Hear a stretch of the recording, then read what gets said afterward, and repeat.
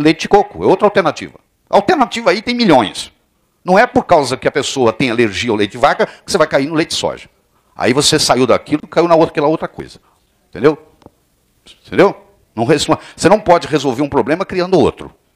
Isso não é solução, não. A criança, geralmente, no primeiro ano de vida, não deve receber leite de vaca. Ponto. Isso é, isso é unânime no mundo.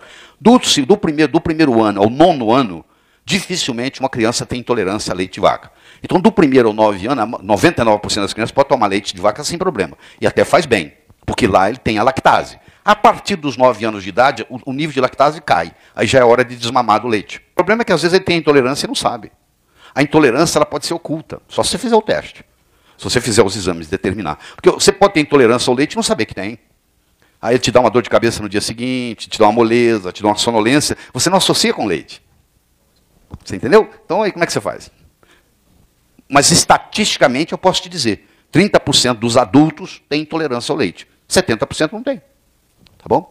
Isso é estatística.